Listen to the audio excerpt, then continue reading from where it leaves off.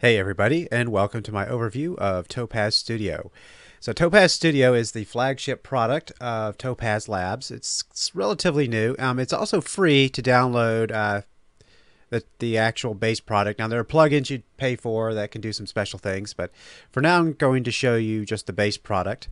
Um, so what it is, uh, it's an image enhancement product. Now in all of my art, I generally tend to do a lot of post production, you know, render a scene and spend a lot of time uh, adjusting the colors and whatnot. And I used to do it in GIMP, but now GIMP is a multi purpose image editing software for painting and all sorts of stuff. It has a very steep learning curve, and it's not specific to just enhancing the colors of an image and the sort of the, the basic look of, a, of an image.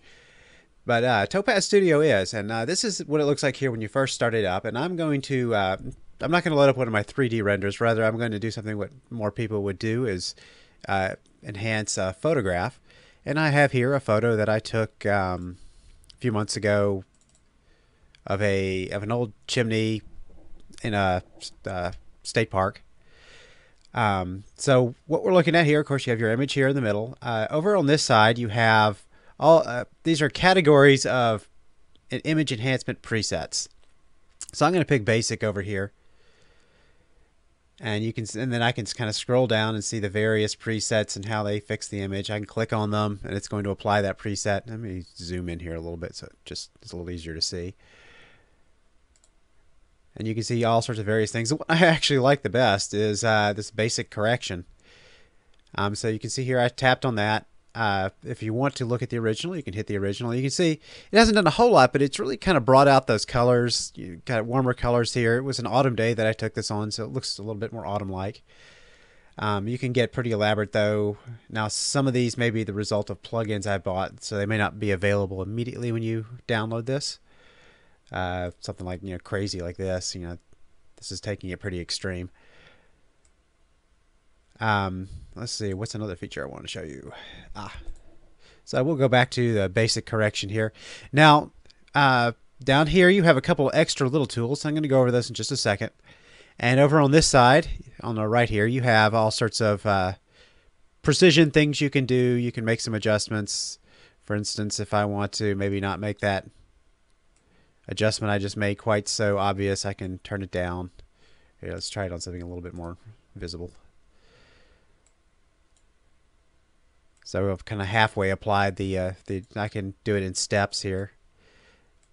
And there's a few other things. Whenever you pick a, uh, a preset over here, it will load up your palette over here with some of the stuff. But anyway, um, I wanted to go back to, let's jump back to our basic correction here. Uh, a couple of these features down here. Um, one of them is heal, and I actually found that I'm using this quite a lot. Let's say I want to get rid of this sign here. This is practically a magic tool. I just click on heal, and just kind of wipe over the sign here.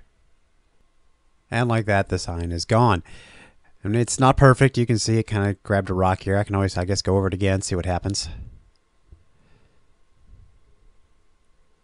Yeah, that's a little better. I mean, it you kind of lost the fence there, but uh, it's probably uh, a detail. It's not going to be overly noticed. Um, also, I'm not going to be keeping this as a pure photograph. Uh, another thing that I like to use here, um, is this uh, I can change the image size. I like to have my images really large. I'm not going to do that right now because it'll overwhelm the memory with my uh, recording equipment here. But uh, I uh, I don't generally recommend to increase the size unless you're going to do a lot more enhancement later on, which is what I do. Um, and I'll show you that in just a moment. Let's see, what else do we have? Uh, okay, this is our healing brush, our basic correction. So we'll bring that back in. Let's see if there's anything. You can uh, click on a little arrow here to do some more stuff. Say we want auto white balance. You can turn that on. That makes it a little bit too yellowish for me in this one. Um, I can maybe bring up the lights and the shadows a little bit. Or just increase the exposure. Let's bring that shadow back down. And always I can go and check out what the uh, original looked like. You can see here it used to be kind of a dim, not quite, uh, kind of a washed out color. Now the colors are a lot brighter. Um, maybe the sky's a little bit too bright back here. So I can always turn the highlights down some.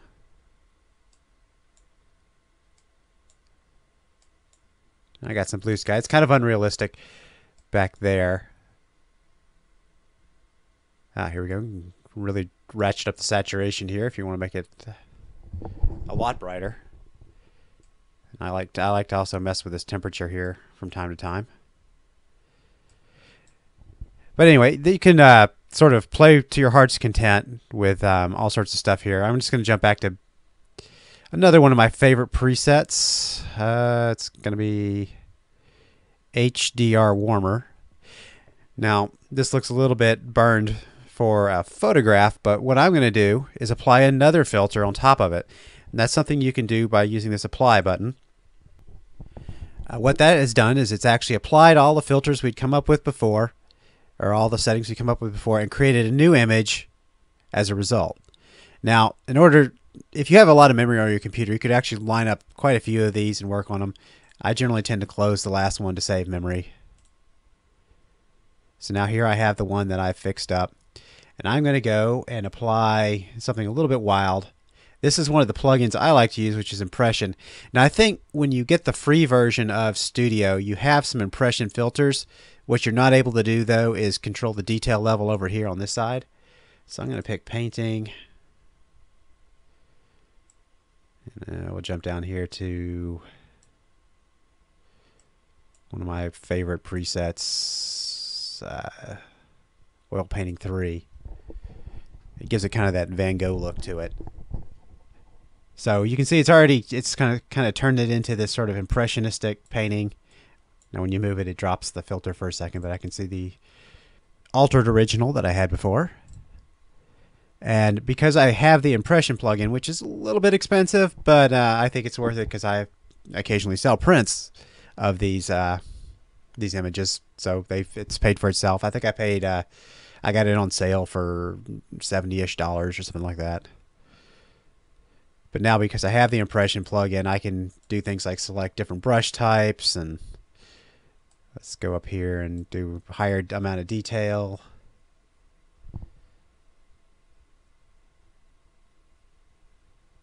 Uh, various um, various switches. I, I can actually spend all day working on an image here because uh, it's a lot of fun to just kind of play in this. So anyway, um, that's just sort of my overview of uh, Topaz Studio. Um, I'm going to leave a link to it in the uh, notes for this. Uh, if you see this on YouTube, it'll be down below in the description. If you see it on my website, which by the way, I'll bring that up really quick just to plug my website. So my new website is uh, www.fineartbydaniel.com. And I'll have this video posted on my blog there. Uh, but while you're there, you can also check out some of my art. I have a gift shop. Uh, uh, something that's also useful is a resource page. So if you don't find the uh, link to Topaz Studio in the description of the video, I'll have it here on my list of resources. Um, here I already have uh, at least a link to my reviews of Glow and Impression, which are other Topaz products, which have now become plugins for Studio, by the way. Uh, Impression was the one I was just showing you, in fact. All right, so uh, that's uh, my quick overview. Uh, thanks for watching, everybody, and have a good evening.